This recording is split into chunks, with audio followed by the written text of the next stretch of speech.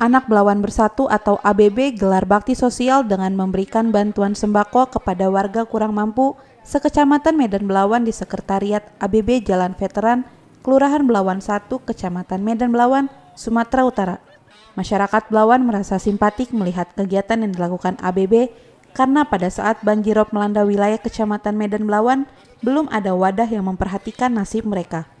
Bantuan tahap kedua berasal dari partisipasi para pengurus beserta anggota ABB dan para donatur pribadi yang bersimpati mendukung kegiatan ABB. Ami Tanjung, warga Kelurahan Belawan, mengucapkan terima kasih kepada ABB atas kepeduliannya kepada masyarakat Belawan.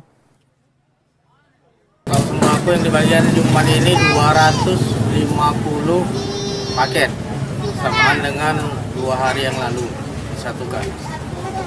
Eh, pembagiannya ke masyarakat mana aja nih ketua? Masyarakat sekecamatan Medan Melawan dibagi enam kelurahan.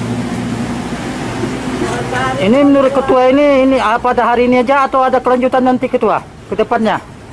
Untuk program Jumat Berkah ini mungkin akan continue dan akan kita lanjutkan seterusnya.